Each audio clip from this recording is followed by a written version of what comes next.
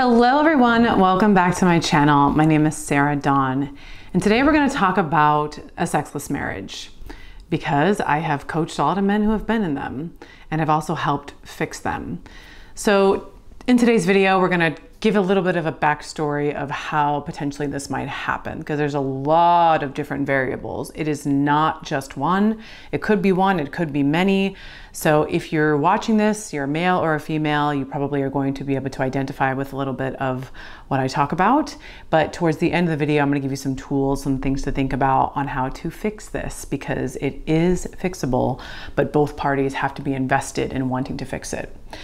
So, the biggest things that I hear when it comes to a sexless marriage and what happens is typically there's a variety of things. So, when you take away the spontaneity in a relationship, when kids come into the picture, when your needs and your priorities are put on the back burner and kids take all of your time and attention, when you're tired, when your health starts to decline, when someone potentially has gained a little bit of weight in their older age. So you're not as mobile, you don't feel as sexy, you don't, you know, you don't present in the relationship as confident, and that can start to wear down um, on the sexual attraction that the other person feels.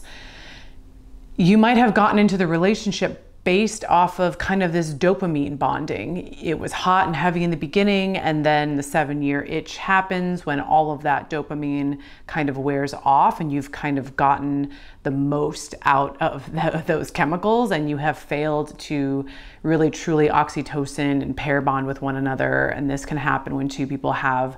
Uh, some broken attachment issues, some avoidant attachment issues, and some anxious attachment issues. So, you know, in the beginning, there's a lot of fireworks, there's a lot of things that keep the relationship going, but towards the middle and towards the end of it, I hear a lot of people will tell me that they just didn't feel that spark anymore. They just didn't feel like their partner, they were attracted to their partner, and they didn't know how to get over it, that over that hump. Um, because typically, a lot of people who have anxious or avoidant attachment styles um, are unfamiliar what it feels to be in a safe relationship. So it tends to feel boring. It tends to feel um, too stable. They like to, you know, typically someone will cheat to create some sort of novel experience within themselves or within the relationship. So I'm, I'm covering it all. I'm covering all the things that I've heard. I've covered um, a lot of things that I've read. Uh, another thing too is that women, especially as a woman myself, I want to give you some perspective on what women will say and what women will tell me in their circles. And that is basically that a lot of women will feel that they become they're a mother to the man, very uh, nurturing, and will start telling him what to do, will start taking on the masculine role. And men don't necessarily understand this because they go to work and they come home, and the, and the wife will complain that he's not doing stuff around the house. And I understand that if you've taken that role and you are a housewife and you've decided to stay home with the kids, that that's something that you are going to contribute to. You're going to look after the house. But after a while, it starts to get old when he just walks in the door, slumps down on the couch, watches TV, drinks a beer, kind of that 1950s leave it to beaver style. Women don't necessarily want that anymore because everyone's really tired uh, everyone is working. There's a lot of people that are that are not able to be in single family homes.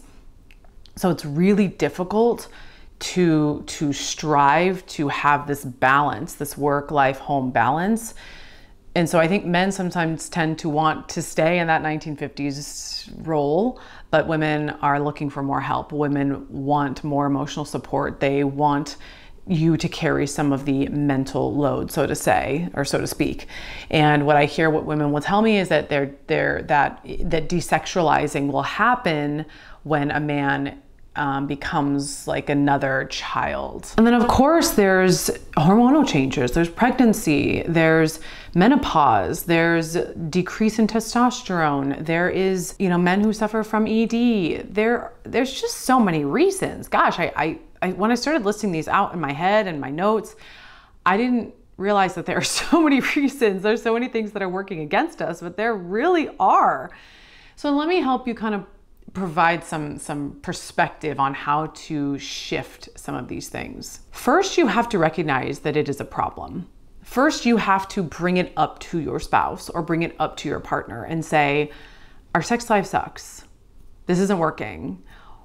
We either need to fix this and come to an agreement on what we value in the relationship and how much we value it, this particular part of the relationship.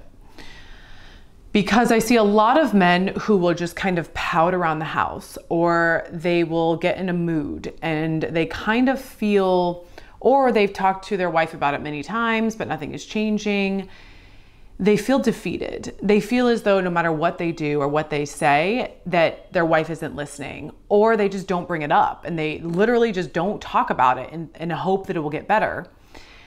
It's not gonna get better unless you don't talk about it. It's not gonna get better unless you don't bring it to the surface. It's not gonna get better unless you decide to go to counseling or go to a sex retreat or do something to change the narrative. So that's really the first step is bringing it to the forefront. Now, I um, have read a book called Mating in Captivity a, a long time ago and it was by Esther Perel. I speak about I've spoken about her on this channel before, but her work is fantastic. She studies affairs and she studies what happens to couples when they have affairs. Like what is the breakdown of their relationship? And what she found were three different things that really contribute to the demise of a, a, sex life, a married sex life, and that is the lack of novelty.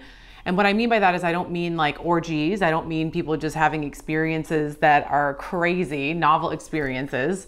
I mean just anything novel. You taking a trip or doing everything. Everybody just gets in this rut and starts to do things that are very kind of plain and simple and you know, you drive down the same path to work every day and you don't do anything different. So a lot of people get comfortable in the relationships and fail to create any type of novelty in their relationship. The next one is um, spontaneity, right? Doing something that you've never done before or keeping the relationship alive and like you were dating again. The reason why sex is so hot in the beginning of a relationship is because you don't you don't ever know when it's really going to happen. You don't know, you know, if you see the person and where you're at, if it's going to happen in public, is it going to happen in the car? You know, it's it's you kind of are learning each other and it's new and there's just things that are more spontaneous within that dating relationship. So creating that type of spontaneity back in a relationship that's been, you know, seven, nine, ten years is really important. And then the next thing that she talks about is seeing your partner in a new light. And what I mean by that is is somebody could go to the gym, get in really good shape, and they start to look at their partner differently. Or let's say you're um, you learn a new instrument and you learn a new hobby and a spouse starts to look at you differently because they you're kind of unlocking this new part of yourself that they've never seen before. And you know there's a, a theory that some people say the way to make your way to make a woman you know wake up to you is to make her jealous. That's a little bit of a dark psychology hack that i wouldn't necessarily uh, promote but i think that there is a sense anybody has a sense of natural jealousy or natural curiosity when somebody goes to the gym and like starts to take really good care of themselves and starts to you know trim down and and just start uh, taking more have better self-confidence. I think that's what spurs the feeling of oh wow like what's going on over there what, what's he or what what what's he or she doing she's really like trying to take care of herself I think it might work in both ways, right? When you when you take an active part in not letting yourself go, it reignites this passion within the relationship. And then the third, yeah, and then and then taking up an instrument, doing something new where your partner sees you and goes, wow, that's a, I have a whole new appreciation for them. It's very sexy. It's um it's powerful it shows that like you're growth mindseted, you're learning, you're doing things to make yourself better. I think that over time, these are all things that kind of fall by the wayside when it comes to relationships.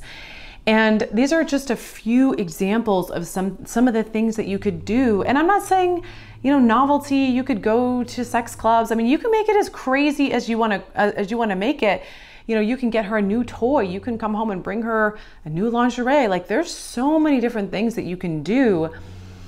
But the last thing is really um, this is the hardest thing for people to hear and the hardest thing for people to change. And that is the codependency that we fall into when it comes to being in a relationship. Women and men both have the tendency, again, this goes back to our childhoods.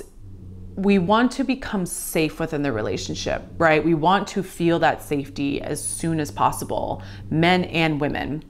But as soon as we get that safety, sometimes we tend to resent it because it takes away the passion, it takes away the excitement. So, as much as you want to do everything with your partner, as much as you want to feel that safety within the relationship, sometimes being separate, doing separate things, creating distance within the same house together, you know, really doing activities and then coming back together to talk about them, having separate lives is how you keep that relationship fresh because if you're doing everything together, if you have become fused at the hip, if you are codependent, if you can't go anywhere without without your partner, then where is the the space in between where you get to miss them? Where you get to say, "Oh, what are they doing? I wonder what's going on with them." Right? So there's a lot of things that you can do, but the first thing is you need to have a conversation about this plain and simple. And then from there, you can come up with a plan to try and get yourself back on track. I hope this was helpful. I'm sorry if it was hard to hear. Um, of course, I am available for one on one coaching. Please click the link in the description if you would like to book a call with me. I have helped tons of men and women get through this, couples. Uh, I would love to be a conduit to your growth. Thank you. If you found this valuable, please subscribe, and I will see you on the next one.